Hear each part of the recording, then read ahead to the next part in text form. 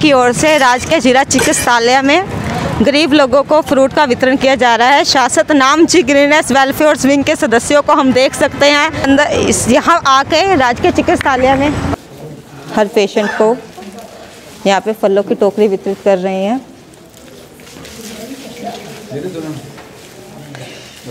भैया, आपसे मैं बात करना चाहूँगी। सर, आपका नाम? सुखजीत इंसा। सर ये प्रेरणा कैसे दी आपको? सर इसकी प्रेरणा का सिर्फ़ एक ही जवाब है एक ही श्रेय है जो है संत डॉक्टर गुरमीत राम रहीम सिंह जी इंसा हमारे सतगुरु दाता और गुरु जी जिन्होंने हमेशा हमें इसी प्रेरणा का सिखाया है कि इंसानियत और सबके भले के लिए ही सोचना करना और हमारा सब कुछ वो ही गुरु ही है। पहले भी आपके द्वारा कार्य किए गए हैं? बिल्कुल बिल्कुल। हमारे द्वारा किए ज़रूर गए हैं पर करवाने वाले हमेशा हमारे गुरु ही रहे हैं क्योंकि हमारी उम्र में किसी को समय ही नहीं मिलता। क्योंकि बंदा घूमना, करना पब क्लब इन चीज़ों में ही घुमा रहता है। तो पर हमें तो बहुत खुशी मिलती है। हमें तो ऐसा लगता है जैसे हम पबों में नाच रहे हैं, पर बहुत अच्छी खुशी मिलती है, सच में। आपके गुरुजी ने आपको इतने सारे कार्य सिखाए हैं। क्या आपके गुरुजी की ज़रूरत है समाज को? बिल्कुल।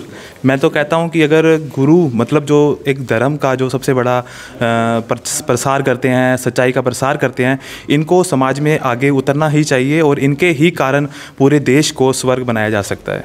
जैसा कि हम देख सकते हैं नीरज सच्चा सौदा की तरफ़ से हर बेड पे हर पेशेंट को फलों की टोकरी वितरित की गई है, चाहे पेशेंट बैठा है, सो रहा है। इनके हर पेशेंट के बेड पे एक एक फलों की टोकरी का वितरण किया गया है।